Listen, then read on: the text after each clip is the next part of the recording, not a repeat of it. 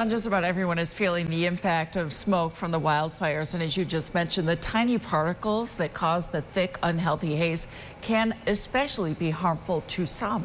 That's right. News Channel 9's Ashley Cafaro shows us what Menter ambulance paramedics in Fulton are dealing with because of the smoke.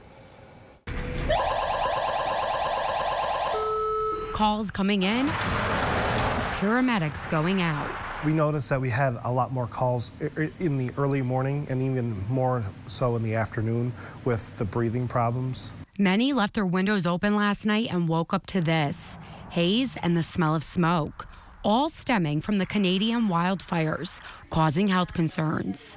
If you have a pre-existing breathing, you know, uh, condition, uh, it's only going to make it worse. There are things called irritants so things such as, say, the wildfire smoke or the haze can only make that worse. And it did, especially for people with asthma, COPD, and even allergies. We find more in the elderly population, um, and unfortunately, sometimes those those those people don't always call when they should, and they kind of wait, hoping to see if it's going to get better. But Menter Ambulance says you should never wait, especially with the current air quality. I believe earlier it was 166, so it's been almost an hour since then, and it's gone up to 173. We also have the young people, right? The the the young kids that are are very much at risk as well and Menter Ambulance expects calls to continue tonight into tomorrow and are prepared to take on the challenge.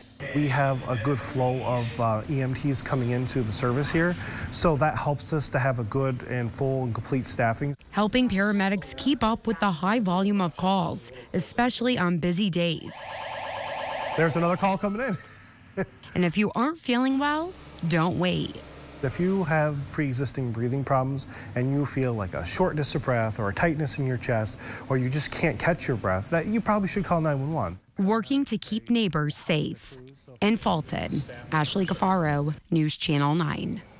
As of right now, Menter Ambulance is not calling in extra paramedics, but they are always on standby if they need them.